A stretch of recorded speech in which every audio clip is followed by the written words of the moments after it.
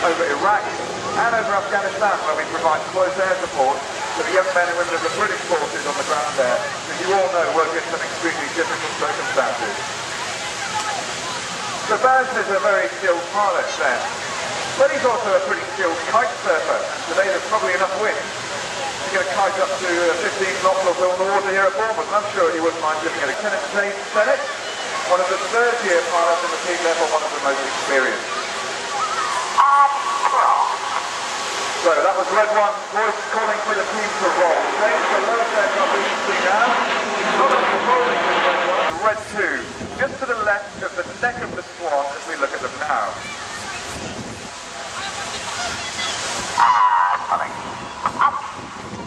So here we are then. Swan pulling up. Red 2, sitting just to the left of the neck of the Swan is Chris Linden Smith. Guys, if you're coin to break. On this formation, which is called Typhoon, named after the Royal Air Force's newest fighter aircraft, the Eurofighter.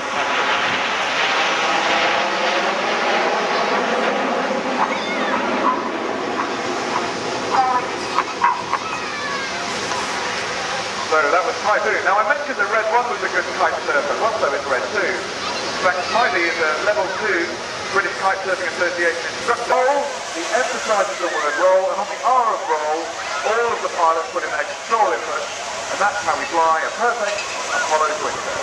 And I told you we were patriotic, or if I didn't, we are. And here's the beautiful red, white, blue over the beaches of Bournemouth as you see the Apollo Twister.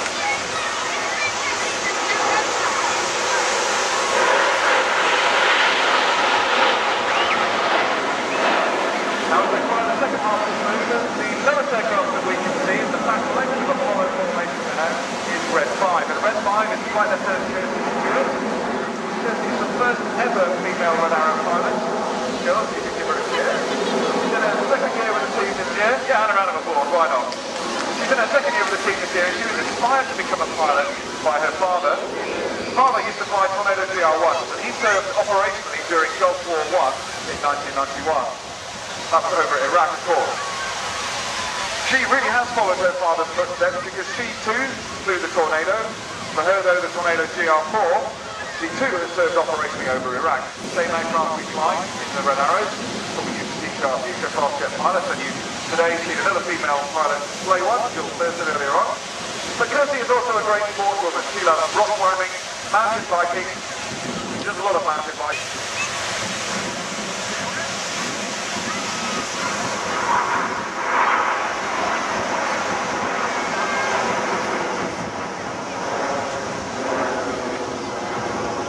So as over here, red one twists the formation and they reach a mile above us there.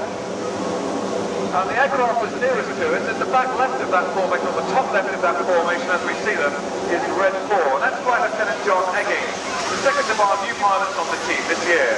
We call him Eggman. He's never been very good at the the Air Force. And he joins us from the Harrier Force.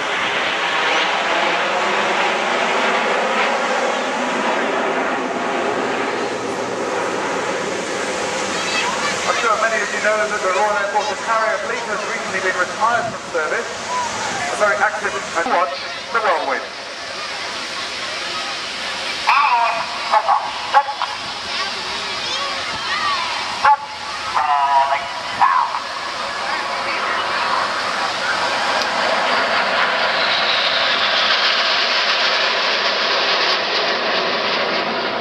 So there it is, the whirlwind. Twelve pilots simultaneously Lieutenant Sean Cunningham, and the Tornado GR4 pilot, his frontline service completed with 617 Squadron, the famous Dan Boston Squadron.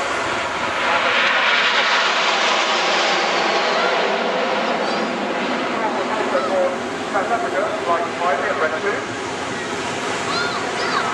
Although we don't think they ever crossed paths in those early days. Now, Sean is a great pilot. He's also a bit of a car buff. He loves his cars. He's probably, by his own admission, a bit of a car geek.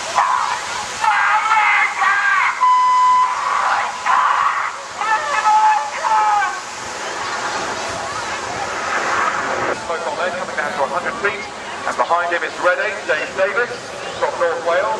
Together, these four aircraft are known as Gypo, and this is the Gypo Park.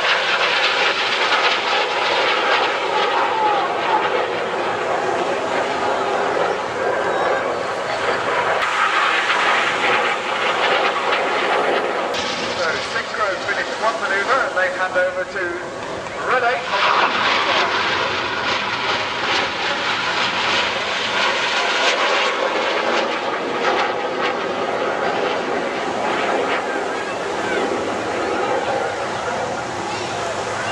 Now Hereford lining up with Enid from the right in a manoeuvre across the cube. He calls up Leslie 17 here. We get the red, white, blue flag on again. Very British. And you want to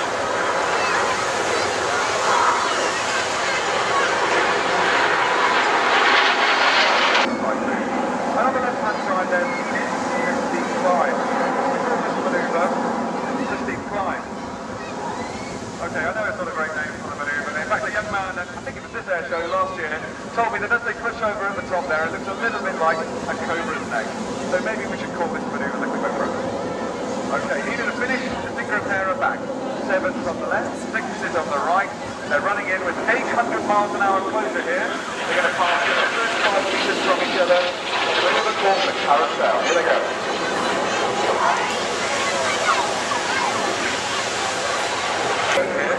Here, crossing him now, switching to blue smoke, has the job of avoiding him. So he's not only pulling 6 feet, he's got his speedy eyes right over there on red 6 to make sure they get this. The carousel just in front. Here's the final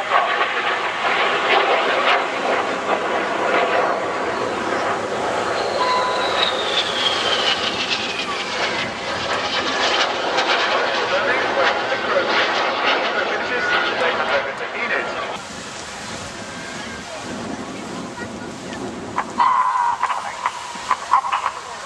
The red one starts to pull up. It's about 4G here.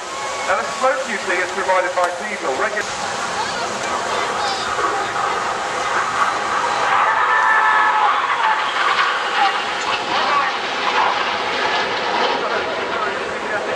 Red line, Zane Senate on Cupid, selling red 6 complete with the corkscrew and six rolls out there on the left hand side. Shortly going to they're going to hand over to Enid. I see red one at the top there.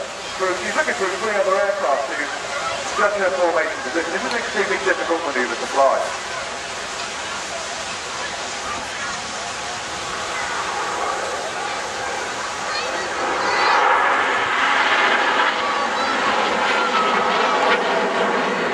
Okay, normally the even numbered aircraft fly on the right-hand side of the display, and the odd numbers fly on the left, but they're the other way round at the moment. We've got three and five on the right, two and four on the left, so we need to swap them back. But this is a clever part of this manoeuvre. And that cross there is its name, the slalom. And believe me, for them to cross through line of stern like that, so close together, requires complete precision and of course more trust between the pilot. And I fly with the team a lot during the training season, so I've seen that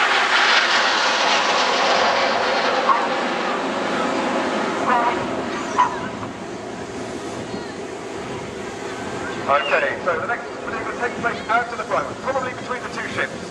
You're looking for Gypo who are running in towards us. First you'll...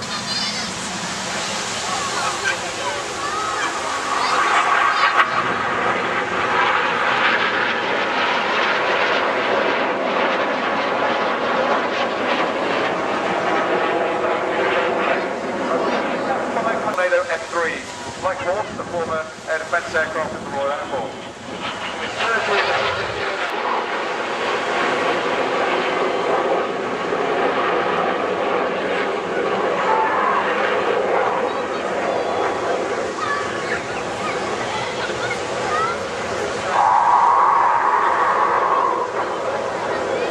Well, believe it or not, he is pilot of the team, former Harrier pilot with operating service in Afghanistan and Pakistan.